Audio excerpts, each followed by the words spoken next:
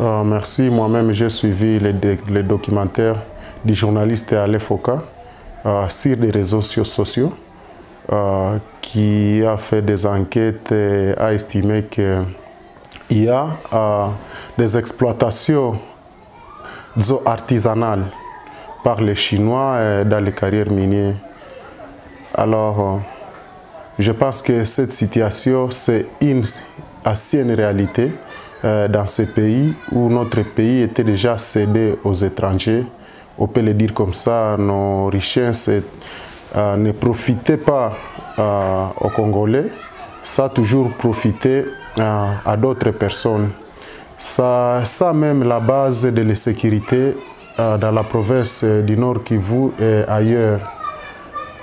seulement parce qu'il y a une convoitise sans précédent de nos richesses, mais aussi avec euh, la faiblesse de l'État qui a existé.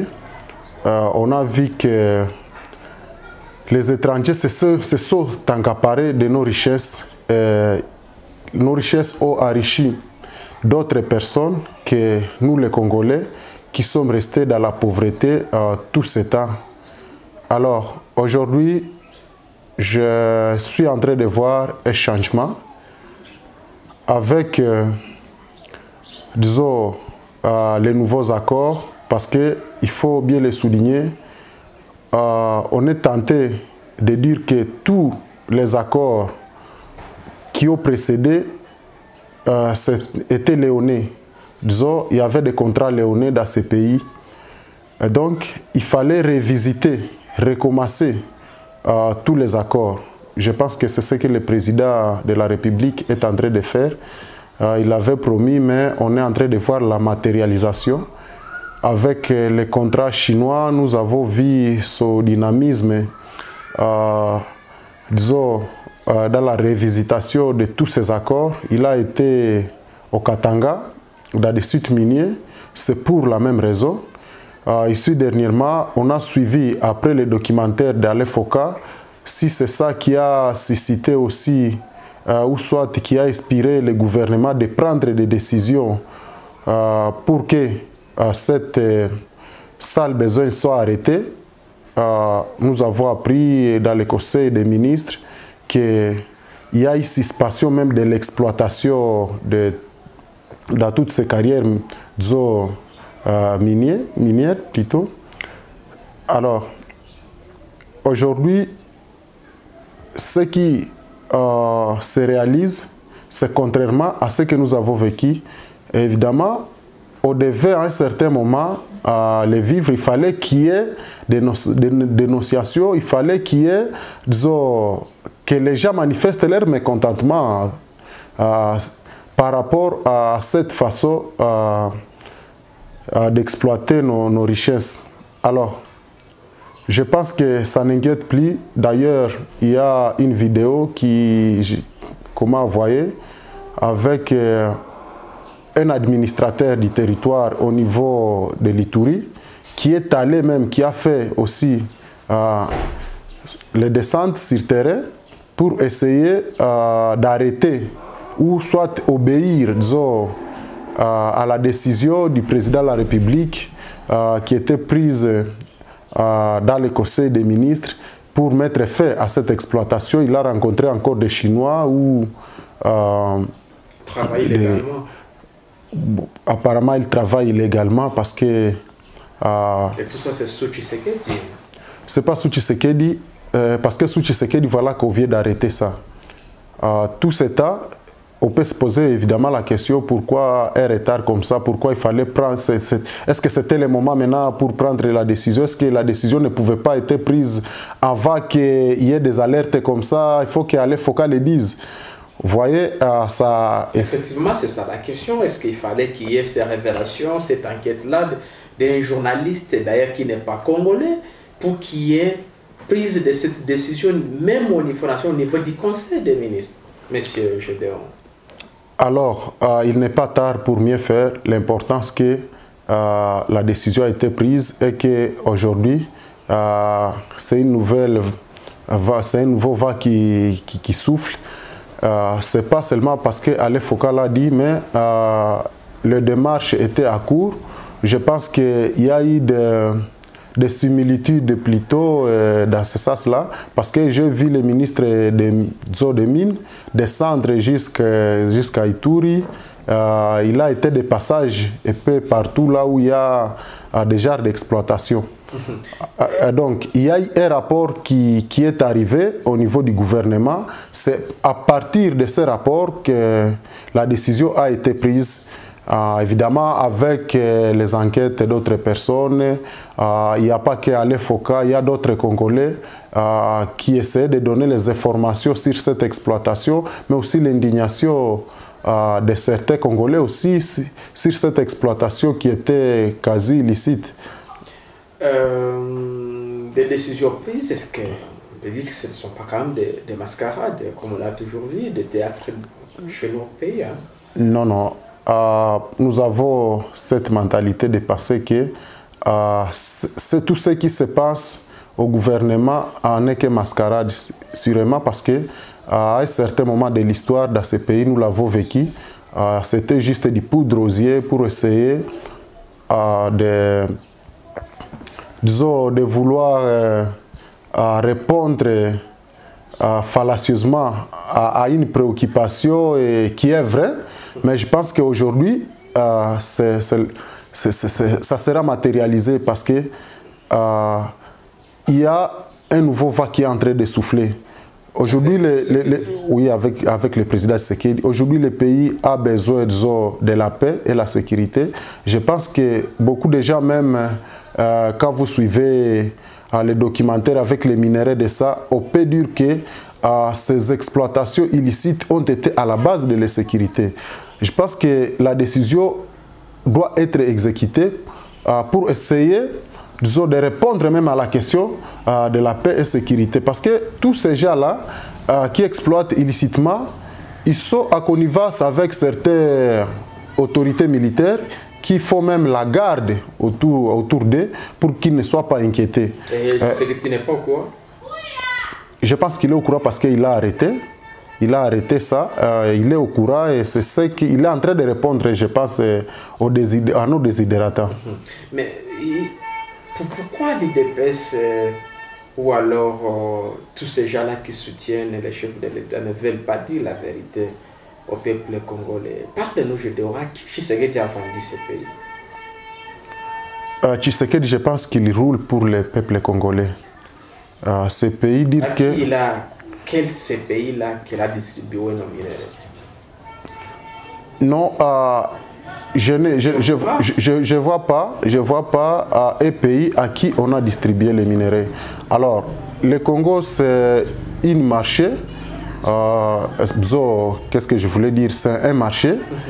Alors, si vous avez besoin euh, de venir, vous avez des produits ou soit votre expertise, c'est un intérêt favorable pour les investisseurs. Et donc, tous les États qui se sentent à l'aise ou qui trouvent qu'il y a possibilité de venir investir en République démocratique du Congo, nous les accueillons, nous sommes hospitaliers sur ce point-là. Je pense que Tshisekedi a besoin de tout le monde, il appelle tout le monde de venir investir, euh, de signer des partenariats, comme il a dit, gagnant-gagnant, qu'il gagne et que nous gagnons, et qui est... Euh, une transparence dans tout ce qu'on est en train de faire. C'est là où j'ai dit que il y avait des contrats léonais, et il est en train de fournir des efforts pour essayer disons, euh, de, de, réaménager, de réhabiliter, euh, si je peux le dire, tous ces contrats qui ont précédé, pour que le Congo trouve sa part dans tout ce que vous voyez, toutes ces exploitations, de, de, nos richesses à République démocratique du Congo.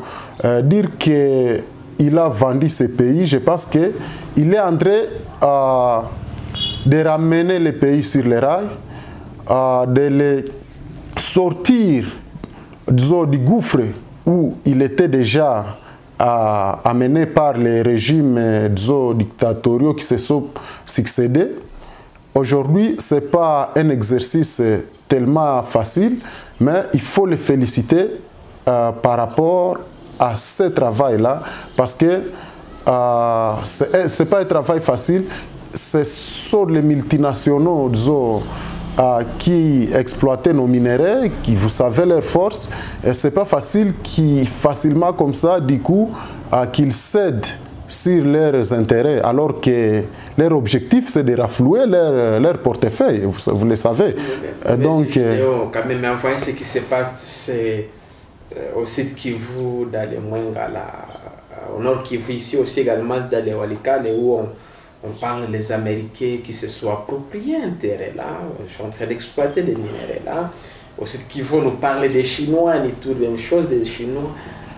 Est-ce que dans un pays, dans un État responsable, ça peut se faire comme ça quand on voit toutes les révélations qu'on a vues dans ce dossier de M. Foucault Je pense que il faut nous écarter de la confusion qui règne. Le fait qu'il y ait des Américains, le fait qu'il y ait des Chinois, le fait qu'il y ait des étrangers ne signifie pas que le pays a été cédé.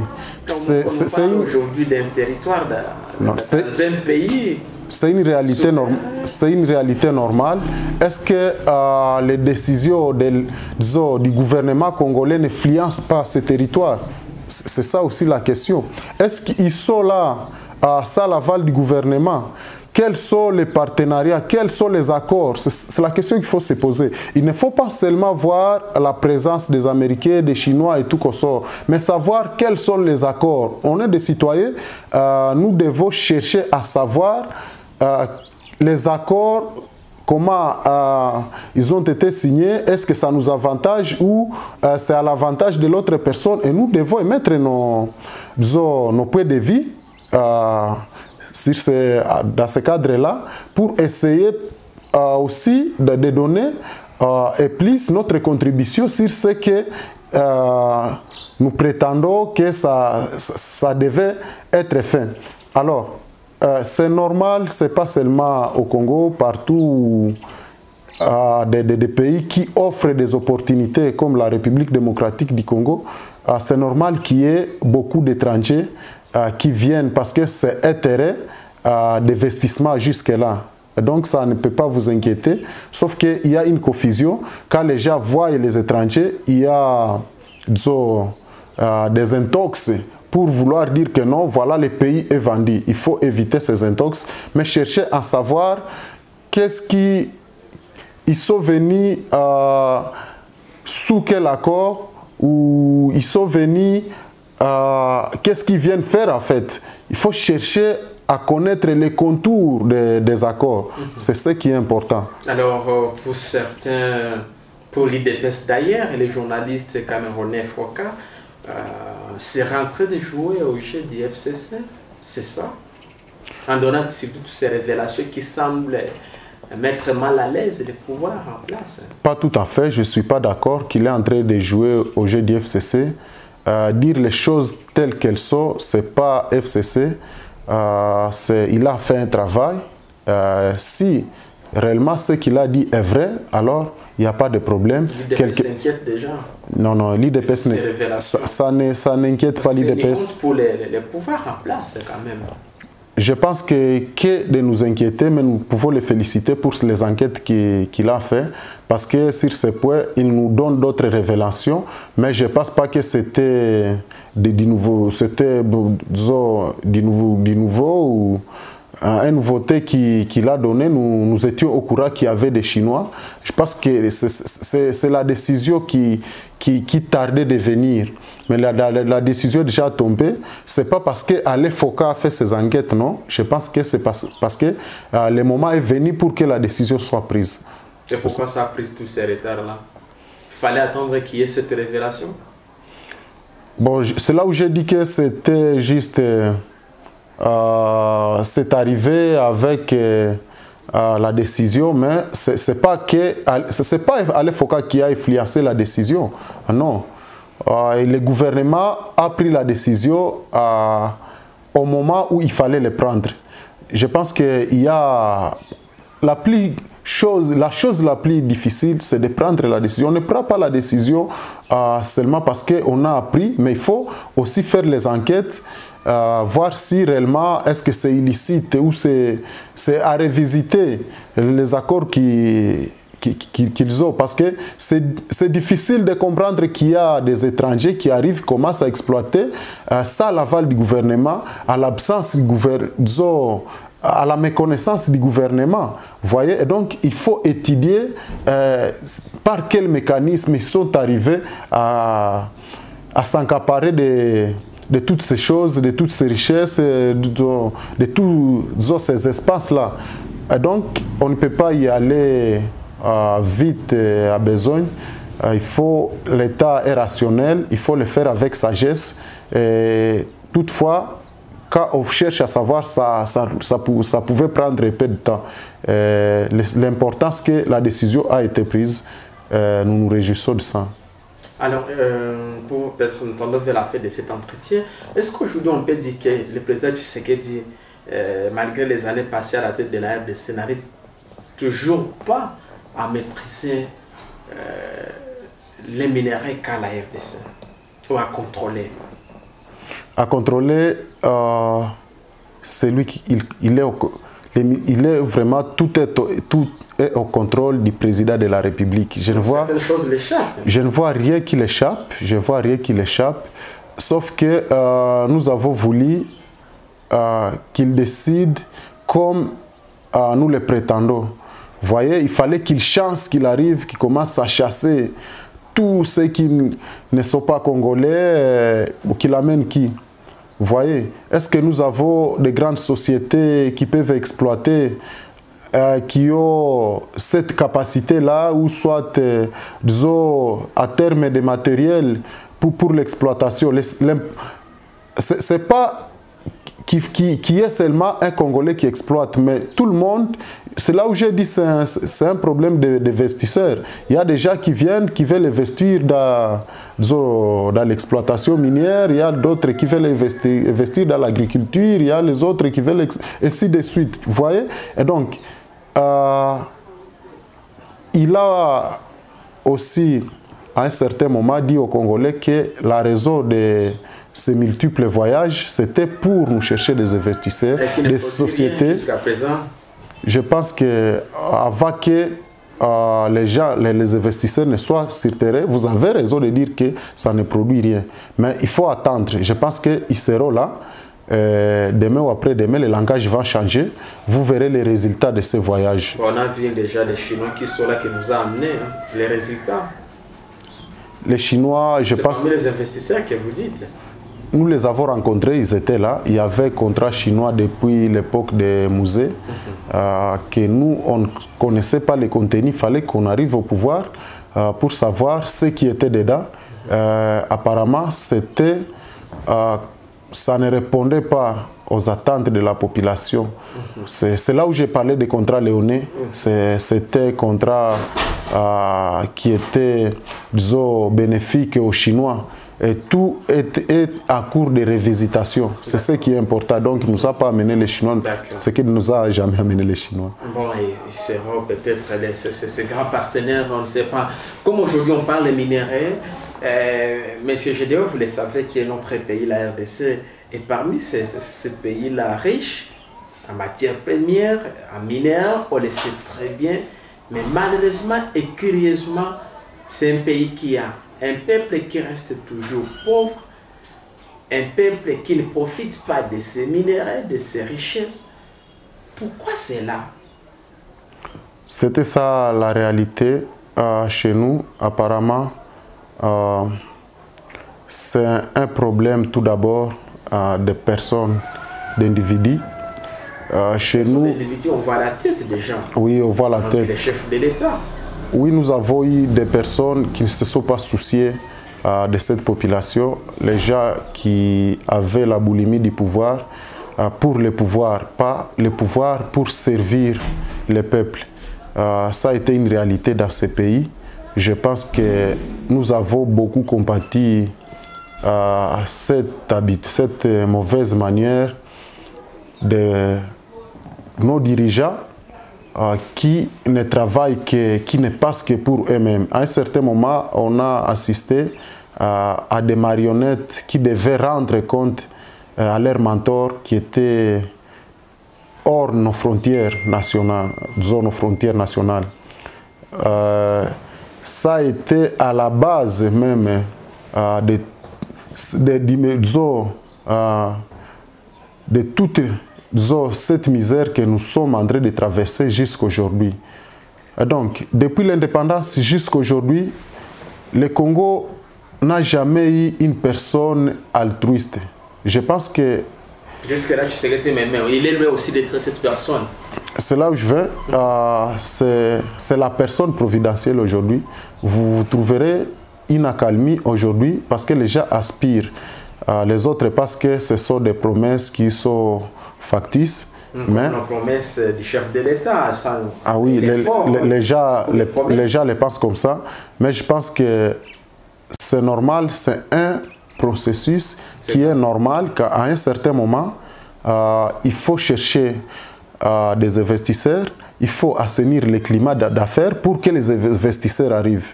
Assainir le climat d'affaires, ça signifie que vous devez d'abord euh, être mieux classé sur, le plat, sur le classement Doing Business.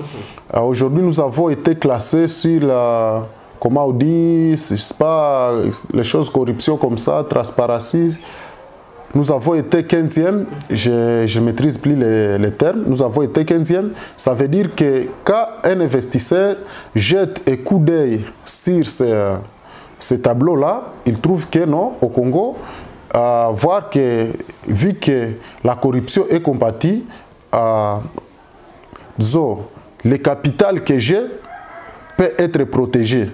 Ça, c'est un élément. Et donc, nous sommes, nous sommes en train de chercher d'assainir le climat d'affaires. Et c'est ce qui va nous amener l'emploi.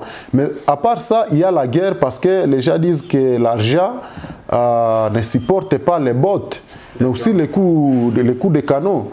Alors, nous sommes en train aussi... Je vous de... vers la fin, un mot par rapport à notre sujet. Qu'est-ce que vous recommandez au chef de l'État? Je sais vous, vous les soutenez bien et vous l'aimez bien parce que les peuples congolais en a marre quand on voit tout ce qui se passe. Qu'est-ce que vous pouvez dire dans moins d'une minute?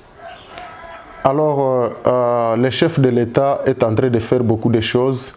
Euh, je pense que la population congolaise, elle est en train de ronger ses frais. Nous appelons le président de la République à la promptitude parce qu'il il a promis, nous savons qu'il est à la quête de tout ce qu'il a promis au peuple congolais. Euh, la misère de la population, je sais que ça inquiète même les chefs de l'État. Donc, euh, vite, euh, il doit passer à la vitesse supérieure pour matérialiser. Parce que on est tenté de dire que ça traîne ce qu'il a promis. on l'attend avec les bras ouverts. presque fait mandat. On l'attend à bras ouverts pour, que, pour ce changement-là qu'il a promis, évidemment, c'est mollo mollo, nous le voyons, ça arrive, mais nous attendons la matérialisation de tout ce qu'il a promis. Retenons ça comme votre conclusion, mais on ne peut pas finir cet entretien, l'actualité l'oblige. Je m'aimerais que dans moins d'une minute, vous puissiez placer moi, cette question d'actualité, ça concerne l'Afrique, ça concerne également la RDC, parce qu'on ne sait pas, hier c'est la Guinée, Demain, peut-être, ça peut être la RDC, même si moi je ne le souhaite pas, bien sûr. Mais j'évoque cette question parce qu'on a un chef de l'État congolais qui est également à la tête de l'Union africaine. On a suivi son message après les coups d'État en Guinée, la destitution du chef de l'État guinéen Alpha Condé. Certains internautes disent que depuis que Tshisekedi à la tête de cette instance africaine, l'Union africaine, on a déjà enregistré trois coups d'État. Qu'est-ce que ça vous dit, vous qui soutenez Tshisekedi, et quel est ce pour la RDC Dans moins d'une minute, parce que je sais c'est un autre sujet. Merci. Euh, c'est un sujet qui marque l'actualité. Euh, je dis que les coups d'État, c'est une pratique démodée.